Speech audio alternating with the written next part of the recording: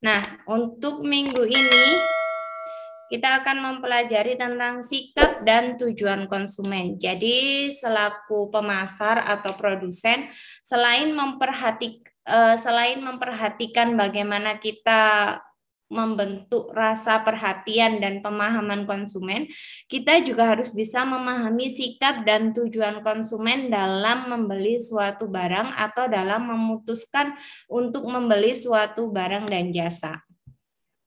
Konsumen dapat disebut juga sebagai pelanggan, pembeli, atau pihak pengambil keputusan sebagai produsen atau pasar, pertama kali untuk dapat memahami konsumen, yaitu terlebih dahulu mengetahui tentang sikap dan tujuan konsumen dalam pembelian produk atau jasa.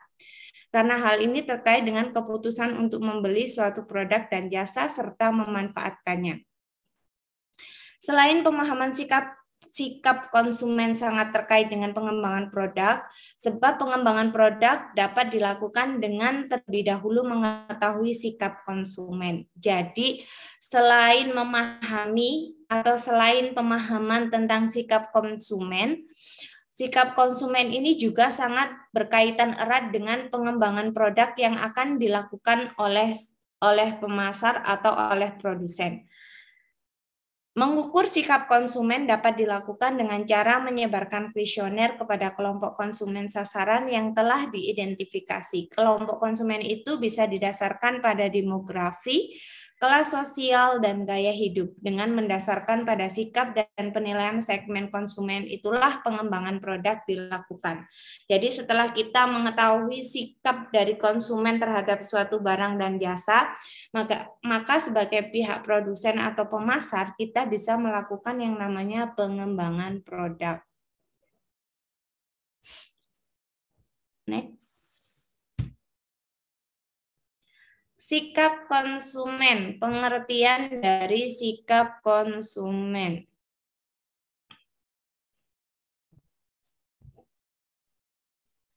Sikap adalah evaluasi, perasaan, dan kecenderungan seseorang yang relatif konsisten terhadap suatu objek atau gagasan. Sikap menempatkan seseorang ke dalam satu pikiran, menyukai atau tidak menyukai sesuatu, bergerak mendekati atau menjauhi sesuatu, menurut Kotler dan Armstrong dalam bukunya tahun 2005. Sedangkan menurut Schiffman dan Kanuk menyatakan bahwa sikap adalah ekspresi perasaan atau inner feeling yang mencerminkan apakah seseorang senang atau tidak senang, suka atau tidak suka, dan setuju atau tidak setuju terhadap suatu objek. Objek dalam hal ini adalah barang atau produk produk sendiri berbentuk barang dan jasa. Jadi menurut Schiffman dan Kanuk menyatakan bahwa sikap itu adalah ekspresi perasaan yang mencerminkan apakah seseorang tersebut menyukai atau tidak menyukai, senang atau tidak senang terhadap produk yang dipasarkan oleh produsen. Sehingga sikap konsumen dapat kita ambil kesimpulan pengertian dari sikap konsumen adalah ada yang bisa bantu? Sikap konsumen adalah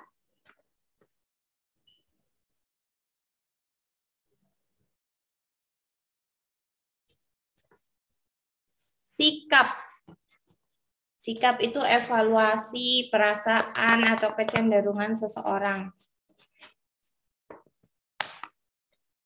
Kalau kalian menyukai seseorang, kalian akan cenderung eh, bersikap menunjukkan rasa suka itu. Nah, apabila kalian kalian menyukai sesuatu, maka sikap kalian akan menunjukkan bagaimana kalian mengekspresikan perasaan terhadap sesuatu tersebut. Sehingga dapat diartikan bahwa sikap konsumen adalah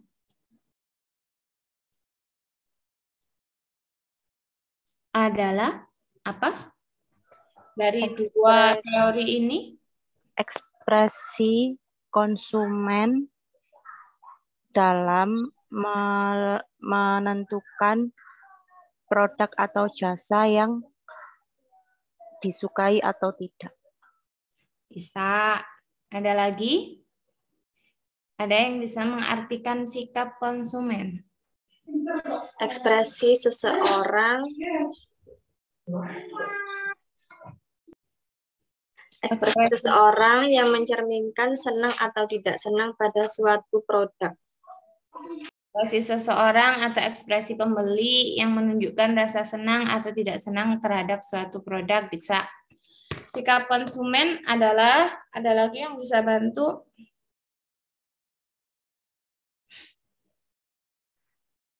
Dari dua teori ini bisa kita ambil kesimpulan sendiri bahwa sikap konsumen adalah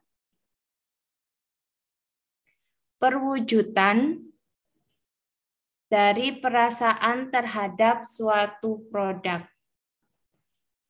Perwujudan perasaan terhadap suatu produk. Perasaannya siapa? Perasaan pembeli. Jadi perwujudan dari perasaan pembeli terhadap suatu produk, barang dan jasa yang dipasarkan oleh produsen. Perwujudan perasaannya gimana? Kayak kalau dia suka, dia akan menunjukkan rasa suka. Dia akan menunjukkan rasa tertarik. Dia akan mendekati produk tersebut minatnya untuk uh, tahu untuk mengetahui lebih jauh tentang produk yang dipasarkan akan secara otomatis muncul. Tetapi apabila dia tidak menyukai, maka perwujudan perasaan yang ditunjukkan terhadap produk yang dipasarkan tersebut bisa sebaliknya, dia akan berusaha menjauh atau tidak berminat atau menunjukkan sikap tidak tertarik terhadap produk dan jasa yang dipasarkan.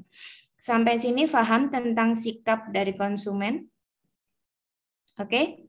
Garis bawahi tentang perwujudan perasaan konsumen terhadap produk, barang, dan jasa. Itu yang kita pegang dulu poin intinya. Perwujudan perasaan. Nah, karakteristik sikap. Jadi sikap dari seseorang itu memiliki karakteristik. Yang pertama, sikap memiliki objek. Jadi sikap tadi apa? Ekspresi evaluasi perasaan. Evaluasi ekspresi atau yang saya sampaikan barusan sikap adalah perwujudan perwujudan perasaan. Perwujudan perasaan atau ekspresi dari perasaan. Nah, ekspresi dari perasaan atau perwujudan dari perasaan ini harus memiliki objek. Jadi, sesuatu memiliki karakteristik yang menunjukkan sikap, yaitu apabila memiliki objek. Kalian akan menunjukkan rasa suka, rasa tertarik apabila ada sesuatu yang menarik minat kalian atau menarik perhatian kalian. Jadi, sikap itu memiliki objek. Dalam konteks pemasaran, sikap konsumen harus terkait dengan objek-objek yang berkaitan dengan berbagai konsep konsumsi dan pemasaran seperti produk, merek, iklan, harga, kemasan, apalagi objek dari pemasaran atau objek dari produk itu sendiri. Merek, iklan, harga, kemasan, uh, ingredient juga kandungan atau komponen dari dari produk. Jadi sikap itu memiliki objek. Ekspresi kalian, perwujudan perasaan kalian terhadap suatu produk itu bagaimana? Nah, makanya sikap memiliki objek. Karakteristik sikap yang kedua yaitu kecenderungan yang dipelajari Terdapat kesepakatan yang umum yang mengatakan bahwa sikap adalah sesuatu yang dipelajari. Artinya, sikap yang berkaitan dengan perilaku membeli dibentuk sebagai hasil dari kalau sikap adalah segala sesuatu yang dipelajari, berarti sikap itu berkaitan dengan perilaku membeli yang dibentuk sebagai hasil dari Kalian bisa mengambil pelajaran dari sesuatu kalau kalian sudah pernah mencoba. Pengalaman. Nah, sudah pernah mencoba, sudah pernah merasakan, berarti sikap kecenderungan yang dipelajari karakteristik ini berhubungan dengan sikap yang dibentuk sebagai hasil dari pengalaman konsumen pengalaman konsumen. Jadi arti dari karakteristik sikap adalah kecenderungan yang dipelajari itu kalian akan berusaha mewujudkan uh, membentuk atau menunjukkan ekspresi kalian terhadap sesuatu itu juga didasarkan dari pengalaman kalian di masa lalu. Ketika kalian awalnya suka terhadap suatu produk karena kalian sudah pernah merasakan manfaat pemakaian produk tersebut sebelumnya atau sebelumnya sudah pernah merasakan atau sudah pernah memakai produk tersebut. Makanya kalian bisa bersikap menyukai atau tidak menyukai produk yang kalian beli. Yang kedua, sikap mempunyai konsistensi, konsisten. Sikap itu cenderung konsisten. Karakteristik lain dari sikap adalah bahwa sikap relatif konsisten dengan perilaku yang dicerminkan. Tetapi walaupun mempunyai konsistensi sikap, tidak selalu harus permanen dengan kata lain sikap dapat mengalami perubahan. Jadi sikap itu mempunyai konsisten. Perwujudan perasaan akan diiringi dengan perubahan atau perwujudan apa? Perasaan. Apa? Gimana, Bu? Perwujudan perasaan, kalian bisa mengekspresikan per, perwujudan perasaan kalian, bisa mengekspresikan perasaan kalian. Selanjutnya apa yang akan berubah dalam diri kalian? Mengikuti sikap. Eh, Kalau kalian menyukai emosional. sesuatu, no, Emosional. no. Hmm, keputusan Nah, keputusan itu berarti apa? Tindak, tidak tindakan tindakan berarti adalah tingkah laku ya. perilaku. Jadi sikap itu mempunyai konsistensi dengan perilaku. Kalau kalian menyukai produk, maka perilaku kalian terhadap produk tersebut adalah dengan cara membeli secara berulang. Jadi arti dari karakteristik sikap mempunyai konsistensi yaitu sikap itu selalu konsisten dengan perilaku. Kalau kalian tidak menyukai sesuatu ya perilaku kalian akan menunjukkan bagaimana kalian tidak menyukai produk tersebut. Misalnya dengan tidak membeli. Yang keempat, sikap terjadi dalam situasi tertentu. Jadi kalian mengekspresikan perasaan itu dipengaruhi oleh situasi-situasi tertentu. Situasi tertentu dapat menyebabkan para konsumen berperilaku dengan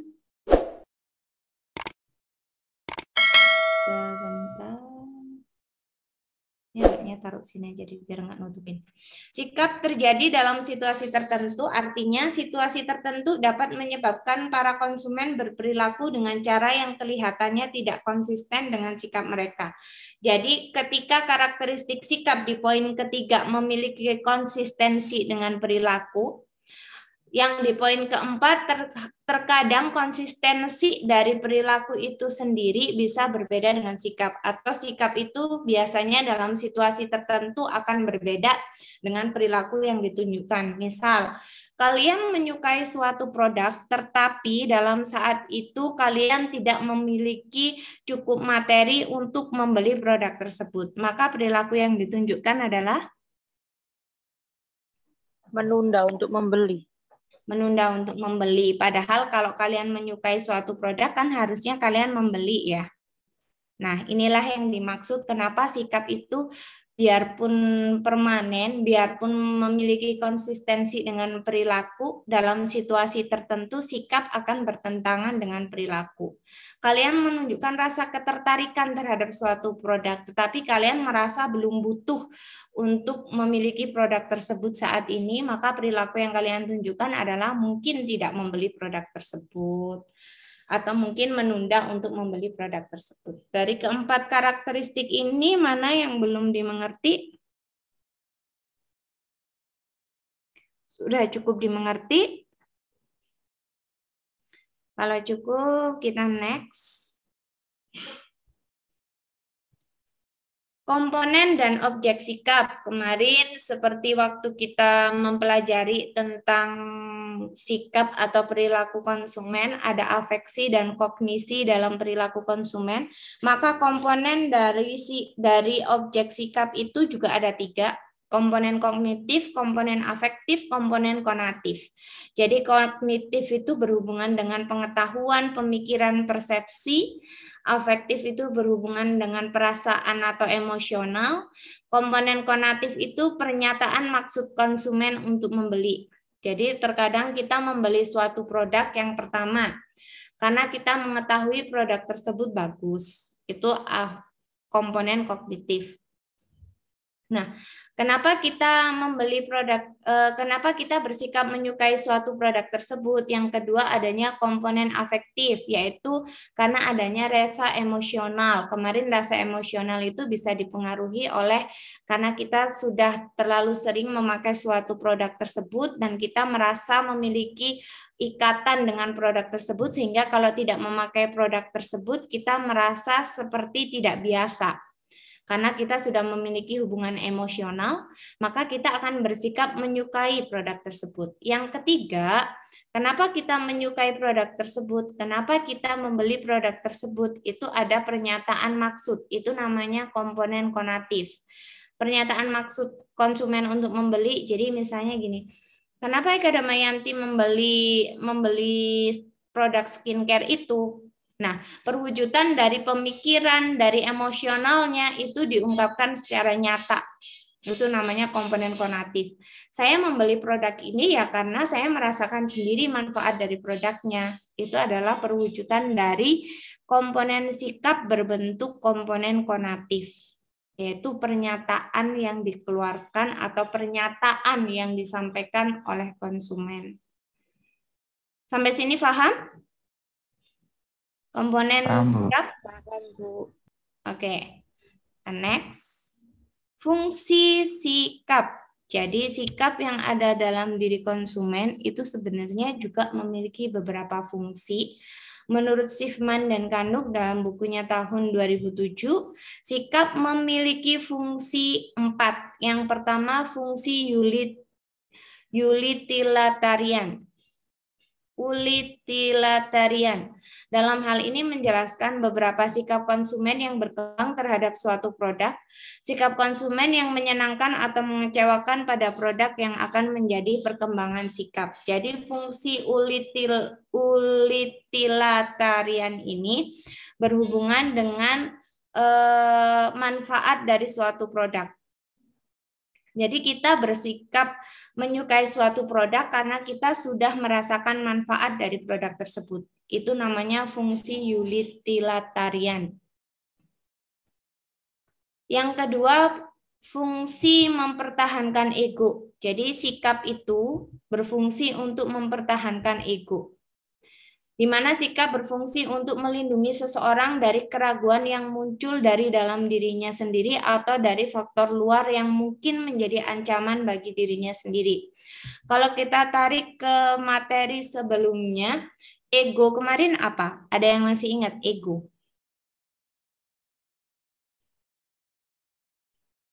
Ego. Ego ego kemarin terus bisa dikendalikan oleh super ego. Ada yang masih ingat? Ego? Kalau nggak salah, ego itu mencari kepuasan dalam kebutuhan. Kepuasan dalam kebutuhan atau perwujudan untuk e, mempertahankan keinginan dalam memenuhi kebutuhan. Ada lagi yang masih ingat tentang ego kemarin? Ego itu niatan atau nafsu. Kalau super ego itu pengendalian atau hati nurani. Ego itu adalah hasrat atau niatan atau nafsu, sedangkan super ego itu adalah yang menahan, menahan ego untuk uh, mungkin bisa diarahkan ke yang lebih baik. Contohnya kemarin ego ingin sekali membeli suatu barang mewah, tetapi sama super ego ditahan. Jangan beli dulu daripada dibuat membeli barang mewah, lebih baik dipergunakan untuk hal-hal lain. Jadi fungsi dari sikap itu adalah fungsi mempertahankan ego jadi ketika kita menyukai suatu produk atau barang, maka kita akan berusaha untuk mempertahankan ego kita dalam memiliki barang tersebut. Itu namanya fungsi sikap yang kedua. Fungsi yang ketiga yaitu ekspresi nilai. Fungsi sikap itu untuk mengekspresikan nilai atau mengekspresikan prestis atau rasa bangga yang ada dalam diri kita. Ketika kita memiliki barang mewah atau bisa membeli barang mewah yang bisa mungkin menurut pendapat kita bisa meningkatkan uh, kelas sosial kita, maka di sini fungsi sikap dalam pembelian yaitu untuk mengekspresikan nilai-nilai kebanggaan atau nilai-nilai yang berhubungan dengan kelas sosial. Yang keempat yaitu fungsi pengetahuan adalah fungsi sikap yang menyebabkan ingin mengetahui banyak hal. Ini lebih mudah difahami. Faktor-faktor yang mempengaruhi pembentukan sikap. Jadi seper, eh, karena sikap itu bukan dari bawaan lahir, sikap itu bisa dibentuk, maka ada beberapa faktor yang bisa mempengaruhi dalam pembentukan sikap seseorang. Dalam hal ini berarti mempengaruhi pembentukan sikap siapa? Mempengaruhi pembentukan sikap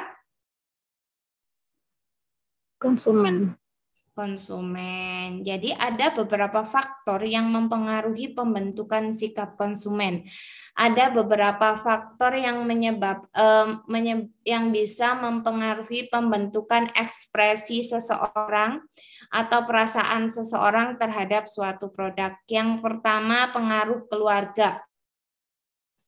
Ada orang-orang itu menyukai suatu produk atau tertarik menggunakan suatu produk karena dalam keluarga mereka menggunakan produk yang sama atau di keluarga mereka menggunakan produk tersebut.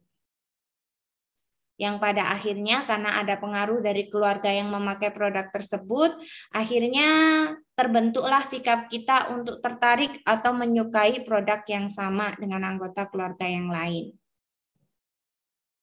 Yang kedua, pengalaman langsung ketika konsumen merasakan manfaat dari barang yang pernah dibeli di masa lalu atau belajar dari pengalamannya dalam pemakaian suatu produk, maka secara tidak langsung akan membentuk sikap dalam diri konsumen tersebut. Apabila dia di masa lalu menyukai produk tersebut, maka sikap yang ditunjukkan pun akan positif. Tetapi apabila dalam masa lalu dia ternyata dikecewakan terhadap produk tersebut atau manfaat yang diterima dari produk tersebut tidak sesuai dengan ekspektasinya, maka sikap yang ditunjukkan terhadap produk tersebut akan cenderung cenderung negatif. Yang ketiga, faktor yang mempengaruhi pembentukan sikap adalah kelompok teman sebaya. Biasanya, kalau kita bicara tentang teman sebaya, berarti kan kita berbicara tentang circle, ya kan?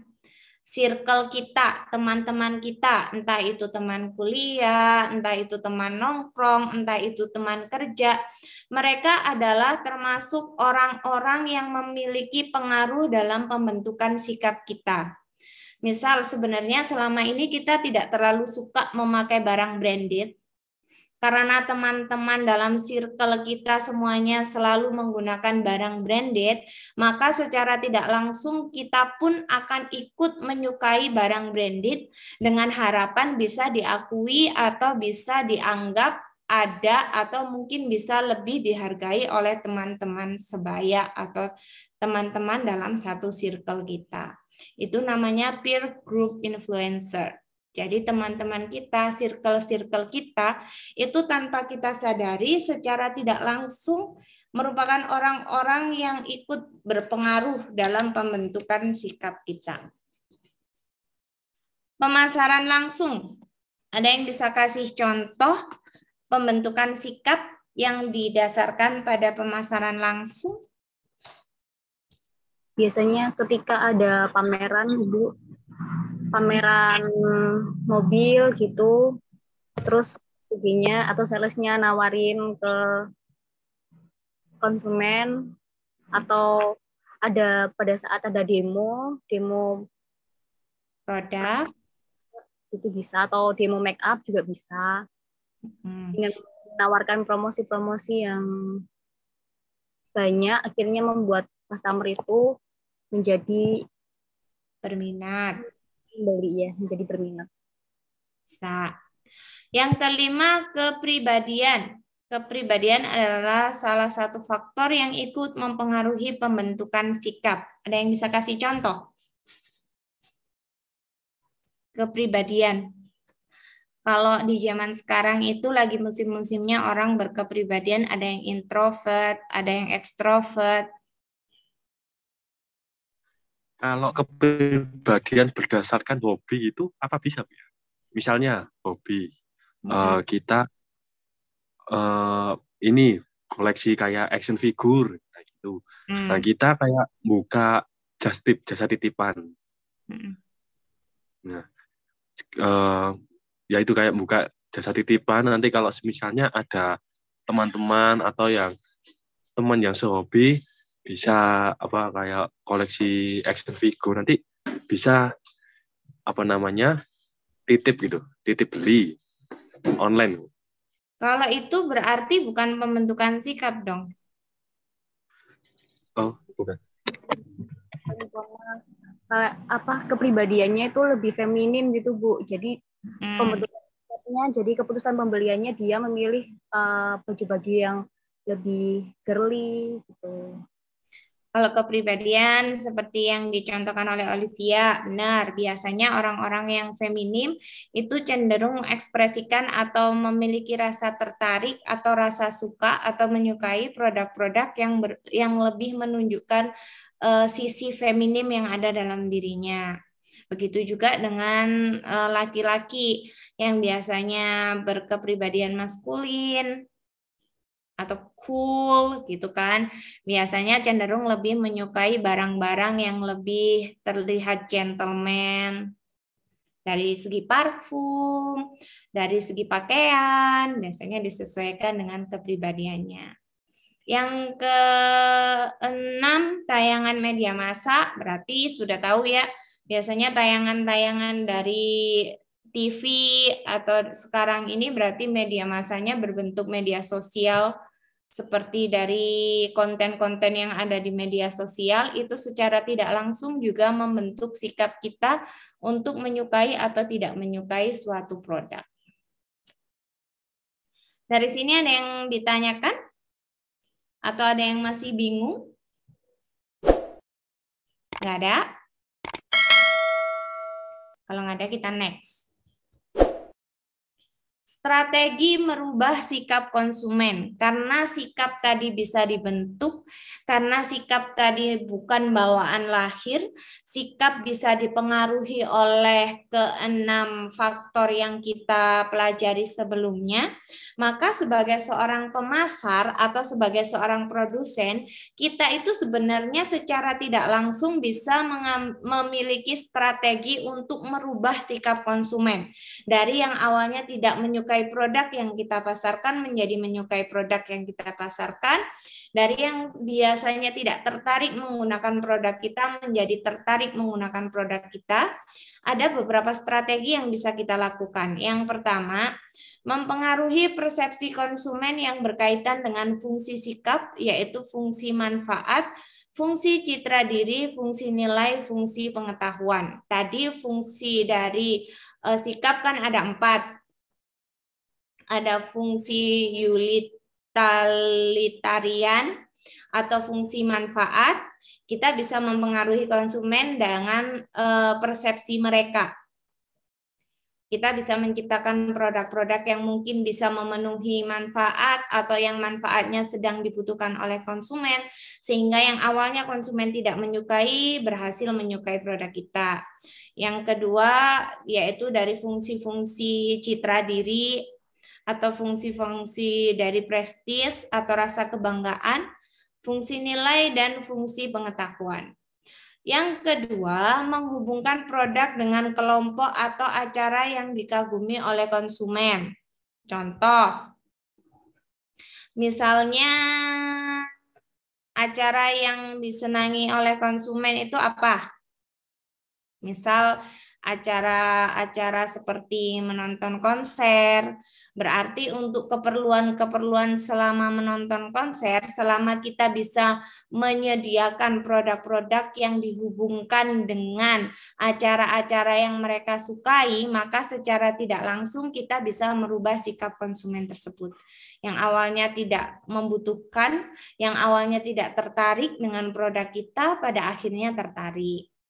Yang ketiga, memecahkan masalah dua sikap yang bertentangan. Jadi biasanya ada eh, konsumen itu ada seperti menyukai terhadap produk yang dipasarkan, tetapi di satu waktu dia juga merasa masih kurang yakin atau masih kurang tertarik dengan produk yang dipasarkan. Nah, strategi untuk merubah sikap tersebut, kita bisa memecahkan masalah dengan menyediakan produk-produk yang mungkin eh, lebih disukai oleh konsumen. Yang keempat, mengubah komponen multi atribut.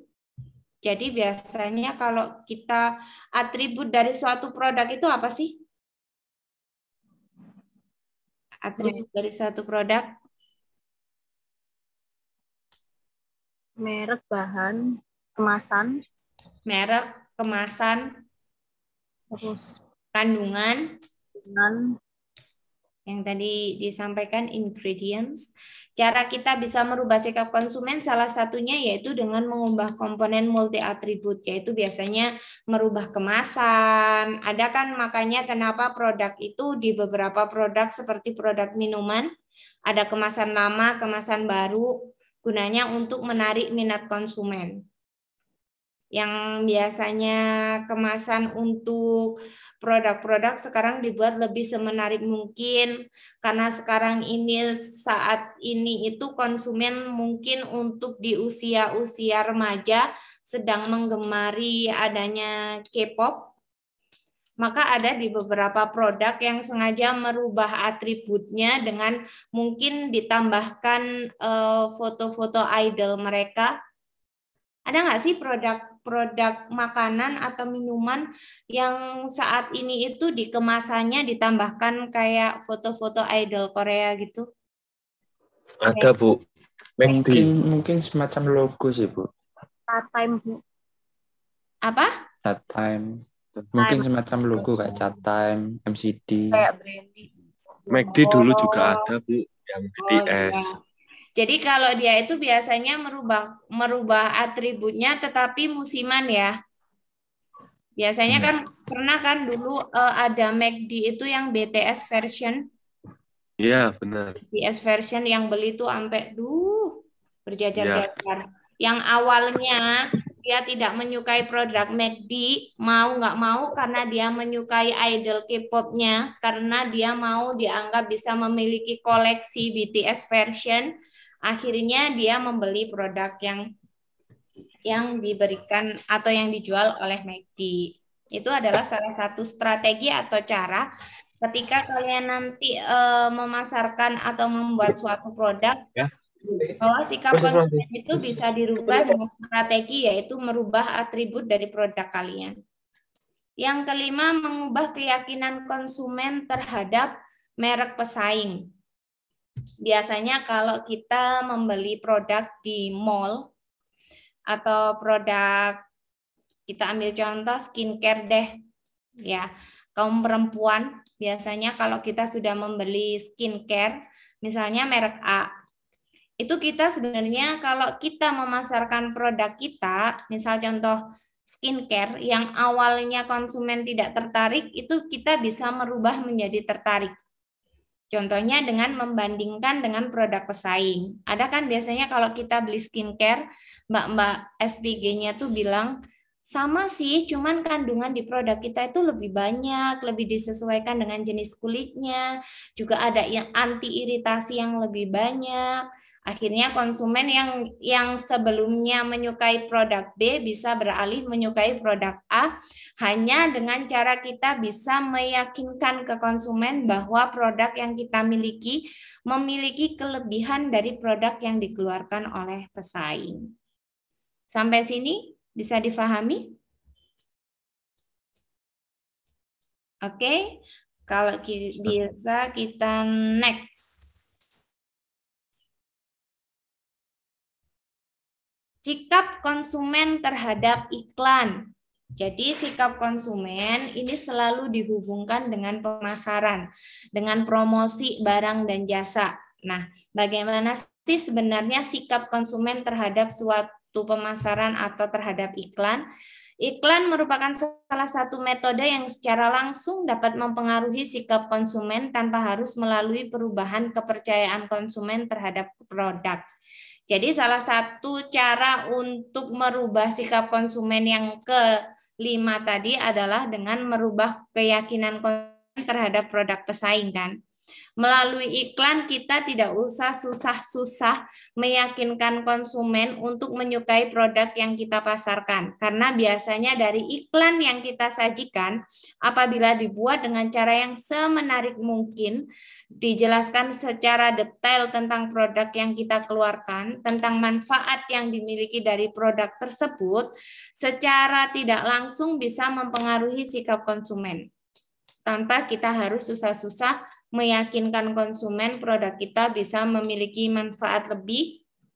Contoh kayak yang dilakukan Mbak-Mbak sales tadi, kita nggak usah lagi memberikan mereka keyakinan-keyakinan atau meyakinkan mereka tentang kelebihan produk kita, tapi secara tidak langsung dari iklan yang kita tawarkan di media sosial, itu orang-orang bisa Eh, bersikap menyukai produk yang kita pasarkan.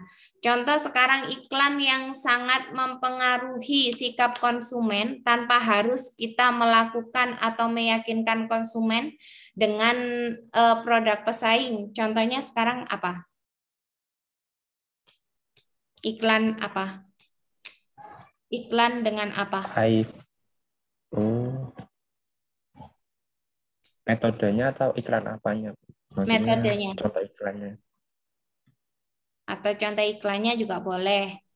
Tanpa kita harus, uh, kalau dibandingkan Wardah ya produk kita jelas memiliki kelebihan Kak. Atau testimoni ya Bu? Testimoni bisa. Kalau iklan, lebih ke iklannya.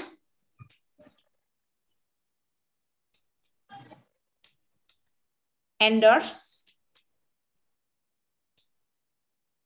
endorsement. Sekarang iklan dengan menggunakan endorsement tanpa kita susah-susah menjatuhkan atau tanpa kita susah-susah uh, mengungkit atau mengulas kekurangan produk lain atau produk pesaing secara tidak langsung akan mempengaruhi sikap kita terhadap suatu produk kan. Misal, kalau ada kan beberapa orang itu percaya kalau suatu produk itu sudah direview oleh selebgram siapa gitu. Ada kan?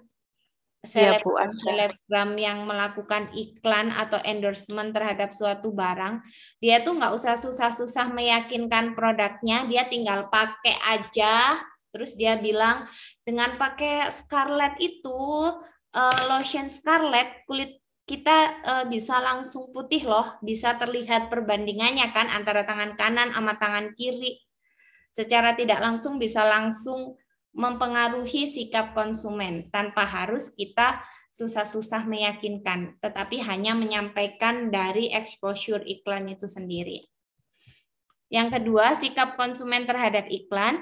Beberapa temuan dalam hasil penelitian membuktikan bahwa satu pembentukan sikap konsumen terhadap iklan dapat mempengaruhi sikap konsumen terhadap merek. Jadi eh, beberapa iklan yang ditampilkan oleh para endorsement, para, para selebgram, atau iklan yang ditampilkan melalui media televisi biasanya bisa mempengaruhi sikap konsumen atau bisa mempengaruhi kepercayaan konsumen terhadap suatu merek. Jadi mereka akan mengenal merek tersebut dari iklan yang disampaikan. Yang kedua, hasil dari penelitian yang kedua, iklan yang ditayangkan di media mempengaruhi emosi konsumen, baik pengaruh yang sifatnya positif maupun negatif. Yang ketiga, isi pesan iklan dapat mempengaruhi emosi para konsumen. Yang keempat, komponen-komponen iklan baik secara verbal maupun visual juga dapat secara tidak langsung mempengaruhi sikap konsumen terhadap iklan. Jadi dengan mengetahui hasil dari keempat penelitian ini, diharapkan ketika nanti kalian memiliki suatu produk barang dan jasa, kalian bisa memberikan iklan atau menampilkan iklan yang sekiranya bisa menarik minat konsumen, yang sekiranya bisa membentuk sikap konsumen atau bisa mempengaruhi sikap konsumen baik secara langsung maupun secara tidak langsung. Sampai sini ada yang ditanyakan? Kalau tidak, kita next karena waktunya kurang berapa menit? Dua menit. Dua menit kan ya. Kita lanjutkan sampai slide terakhir. Kurang dua slide. Nah, masuk ke tujuan konsumen. Jadi setelah kita mempelajari sikap konsumen, yang harus kita pelajari sebagai seorang pelaku pemasar atau sebagai seorang produsen adalah tujuan konsumen membeli barang dan jasa. Sikap atau perilaku setiap individu pada dasarnya berorientasi pada tujuan yang ingin dicapai. Dengan kata lain, perilaku individu atau perilaku konsumen pada umumnya didorong oleh keinginan untuk merealisasikan tujuan tersebut. Pada prinsipnya, mencapai tujuan merupakan realisasi dari nilai-nilai yang dibentuk atau yang didapatkan konsumen. Hal ini tidaklah mudah digambarkan. Produsen harus menyampaikan produk atau jasa yang memiliki nilai sesuai dengan persepsi konsumen agar berlaku tujuan agar tujuan konsumen tercapai. Nilai pelanggan atau konsumen merupakan perbandingan antara manfaat yang dirasakan terhadap suatu produk dengan biaya yang harus dikeluarkan untuk mendapatkan produk tersebut. Untuk mendapatkan nilai yang sesuai dengan persepsi pelanggan, maka produsen atau perusahaan harus mampu menyediakan produk atau jasa yang sesuai karena tujuan konsumen selalu berubah sepanjang waktu. Jadi, Tujuan kita mempelajari tujuan pembelian konsumen adalah agar kita bisa menyediakan barang-barang atau jasa yang bisa memenuhi tujuan mereka. Contoh tujuan mereka membeli produk kita apa? Tujuannya untuk menaikkan gengsi. Ya berarti kita harus bisa menyiapkan produk-produk atau bisa memasarkan produk-produk yang bisa mengangkat uh, gengsi dari konsumen itu sendiri. Nah, dari itulah kenapa kita harus mengetahui yang namanya nilai pelanggan. Agar tujuan konsumen tersebut dapat kita penuhi, maka kita harus tahu dulu nilai dari pelanggan atau nilai dari konsumen itu sendiri. Nilai pelanggan itu adalah perwujudan dari manfaat yang akan diperoleh konsumen dibandingkan dengan biaya yang dikeluarkan apabila manfaat yang kita berikan atau manfaat produk yang kita pasarkan lebih besar daripada biaya yang dikeluarkan oleh konsumen untuk membeli, maka nilai pelanggan kita akan besar. Karena konsumen merasa bahwa tujuan mereka membeli barang dan jasa sudah tercapai. Next. Strategi mempengaruhi konsumen. Jadi setelah tadi kita belajar tentang strategi mempengaruhi sikap konsumen untuk yang awalnya tidak menyukai menjadi menyukai produk yang kita pasarkan. Selanjutnya ada strategi mempengaruhi konsumen, yaitu dengan cara datang sendiri dengan memperkenalkan diri. Ada biasanya beberapa sales itu sengaja datang sendiri atau door to door untuk memperkenalkan produk yang mereka pasarkan. Yang kedua dengan perantara orang lain. Biasanya sebelum kita memasarkan produk, terlebih dahulu kita mencari perantara dari orang-orang yang bisa kita cari informasi terkait produk yang akan kita pasarkan. Misalkan eh, di suatu daerah atau di suatu tempat tersebut saat ini barang apa saja yang sedang dibutuhkan oleh orang-orang di sekitar situ. Kita mencoba mencari eh, informasi dari orang-orang yang mungkin tinggal di sekitar situ baru kita mempasarkan produk yang akan kita jual. Yang ketiga yaitu dengan perantara surat strategi mempengaruhi eh, konsumen yaitu dengan perantara surat Biasanya memasarkan produk karena mungkin eh, lokasi dari konsumen itu sendiri jauh untuk kita jangkau, makanya kita bisa memberitahukan atau memperkenalkan produk kita melalui perantara surat, bisa dengan perantara telepon atau melalui organisasi atau perkumpulan. Biasanya kalau ada organisasi perkumpulan seperti arisan ibu-ibu PKK atau apa, kita bisa masuk dan mendemokan produk yang akan kita pasarkan. Dari situ kita bisa mempengaruhi konsumen.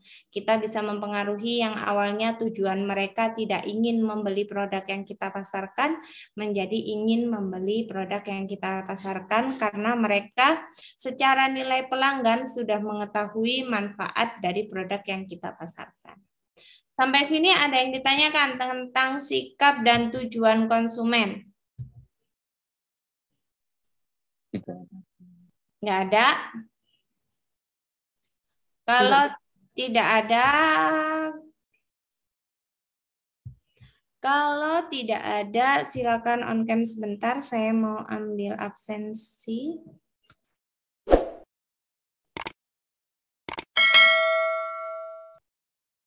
Satu, dua, tiga. Terima kasih untuk waktunya malam hari ini. Semoga apa yang kita pelajari bisa bermanfaat untuk kita semua. Mohon maaf apabila ada salah-salah kata. Eh, selamat belajar, semoga UTS-nya juga lancar. Nanti materinya akan saya share by group. Kalau ada beberapa materi dari penyampaian saya yang mungkin kurang dimengerti, sebelum UTS nanti bisa tanya by chat pribadi ke saya atau melalui grup Nanti kalau bisa akan segera saya jawab. Jadi ketika nanti kalian UTS harapannya bisa berjalan dengan